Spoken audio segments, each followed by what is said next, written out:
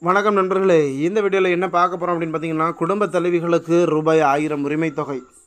வழங்க முப்பத்தி நாலு லட்சம் பேர் தேர்வு. தமிழ்நாட்டில் குடும்ப தலைவிகளுக்கு ரூபாய் ஆயிரம் வழங்கும் திட்டத்தை திமுக தேர்தலின் போது அறிவித்திருந்தது. திமுகவின் இந்த தேர்தல் வாக்குறுதி பெண்களிடையே பெரிய வரவேற்பை பெற்றது. ஆனால் தேர்தல் முடிந்து ஆட்சிக்கு வந்த பின் திமுக அரசால் இந்த திட்டம் தொடங்கப்படவில்லை. கொரோனா பரவல் பொருளாதார நெருக்கடி உள்ளிட்ட பல்வேறு காரணங்களால் இந்த திட்டம் தொடங்கப்படவில்லை. மக்களிடையே எப்போது இந்த திட்டம் தொடங்கப்படும் என்ற எதிர்பார்ப்பு நிலவி வந்தது? இதனிடையே இரண்டாயிரத்தி இருபத்தி இரண்டு இருபத்தி மூணாம் நிதியாண்டுக்கான நிதிநிலை அறிக்கையில் பெண்களுக்கான உரிமை தொகை வழங்குவதற்காக தேவையான நடவடிக்கைகள் எடுக்கப்பட்டு வருவதாக தெரிவிக்கப்பட்டிருந்தது. இந்த திட்டத்தை செயல்படுத்த ஆண்டுக்கு ரூபாய் இருபத்தி ஐயாயிரத்தி எண்ணூறு கோடி ரூபாய் செலவாகும் என்று கண்காணிக்கப்பட்டுள்ளது. தமிழ்நாட்டில் இரண்டு புள்ளி பதினைந்து கோடி ரேஷன் அட்டை உள்ளது. இதில் அனைத்திலும் குடும்ப தலைவிகளுக்கு பணம் கொடுப்பது இயலாத காரியம்.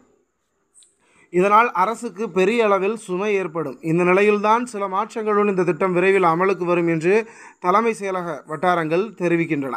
இது குறித்து அதிகாரி ஒருவர் கூறுகையில் தமிழ்நாடு அரசு பொங்கல் பரிசு கொரோனா நிவாரணம் போன்ற சிறப்பு திட்டங்களை அரிசி ரேஷன் அட்டைதாரர்களுக்கு வழங்குகிறது. அதில் அரசு ஊழியர்கள் வசதி படைத்தவர்கள் சொந்த வீடு வைத்திருப்பவர்கள் என நாற்பது லட்சத்துக்கும் மேற்ப மேற்பட்டோர் உள்ளனர். எனவே மாதம் ரூபாய் ஆயிரம் உரிமைத்தொகை அனைத்து அரிசி அட்டைதாரர்களுக்கும் வழங்க முடியாது. ஸ்மார்ட் கார்டு ஆதரின் அடிப்படையில் ஒவ்வொரு குடும்பத்திலும் முதியோர் உதவித்தொகை விவசாய நிதி உதவி என மத்திய மாநில அரசு திட்டங்களை பெறும் பயனாளிகள் ஏ பயனாளிகள் ஏழ்மை நிலையில் உள்ளவர்கள் விவரங்கள் சேகரிக்கப்படுகின்றன.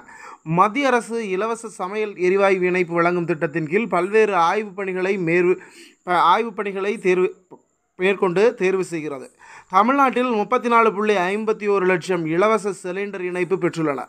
எனவே குடும்பத் தலைவிகளுக்கு மாதம் ரூபாய் ஆயிரம் உரிமைத் தொகை வழங்கும் திட்டத்திற்கான பயனாளிகள் தேர்வில் முதல் கட்டமாக இலவச எரிவாயு இணைப்பு பெற்றவர்களை சேர்க்க பரிசீலிக்கப்பட்டு வருகிறது.